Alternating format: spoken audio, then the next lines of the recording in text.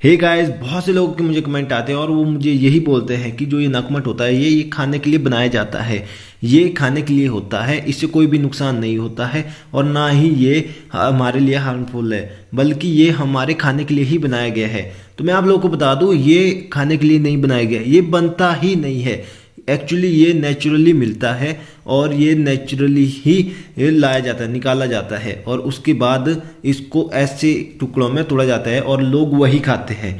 ये नेचुरली मिलता है, ये स्टोन होता है, एक प्रकार का स्टोन होता है और ये आपको ज़मीन के अंदर से मिलता है। ये डस्टी भी होता है, अगर आप ध्यान से देखोगे तो ये डस्टी भी होता है।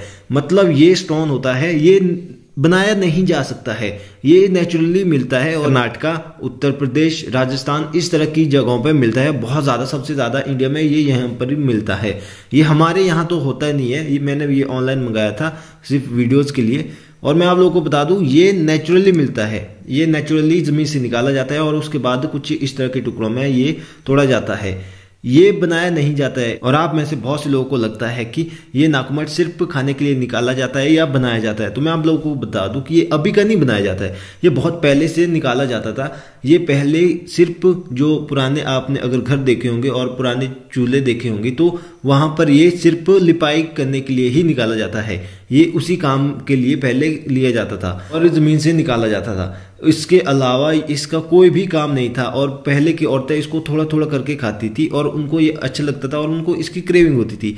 तब से लेकर इसको खाया जाता है, लेकिन तब इसको बहुत ही कम खाया जाता था। आजकल अगर आप यूट्यूब पर देखोगे तो बहुत सारा खाते हैं, हद से ज़्यादा खाते हैं और बहुत ही गंदे तरीके से खाते हैं, जिससे उनको भी प्रॉब्लम होती है, जो उनकी वीडियो देखते हैं, उसके बाद वो भी खाते हैं और उनको भी प्रॉब्लम होती है। मतलब इससे प्रॉब्लम तो होती है, क्योंकि ये पत्थर है और ये ऐसा पत्थर है जिससे आपको प्रॉब्लम होती है, जो अंदर ही अंदर रहता है, ना ये डाइजेस्ट होता है और एक ही जगह ये फंस जाता है, जिससे अंदर बहुत बड़ी प्रॉब्लम होती है इन्फेक्शन होते हैं ब्लॉकेज होती है, इस तरह की बहुत ही सीरियस प्रॉब्लम होती है और जिससे मौत तक होती है।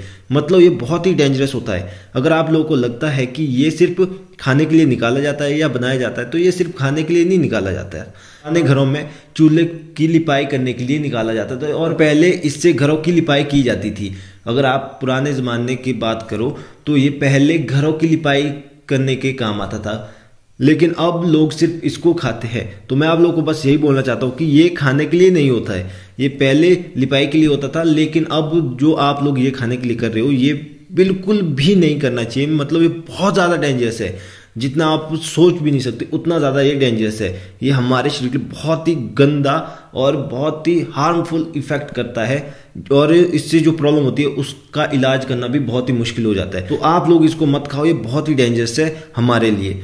तो ये थी आज की वीडियो। उम्मीद करता हूँ कि आप लोगों को समझ आ गया होगा कि जो ये नकमट है, ये बनाया नहीं जा सकता। है ये नेचुरली ज़मीन से निकलता है और ज़मीन से मिलता है और ये खाने के लिए नहीं होता है।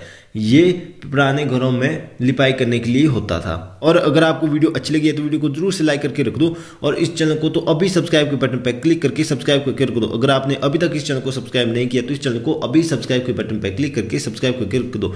और नीचे आप मुझे कमेंट करके बता सकते हो कि क्या आपको पहले पता था कि ये नाकुमट किस काम के लिए होता है। और आपकी स्क्रीन पर यहाँ पर दो वीडियोज़ आ रही होगी। आप किसी एक वीडियो पर क्लिक करके इस वीडियो को देख सकते हो और कुछ और जान सकते हो।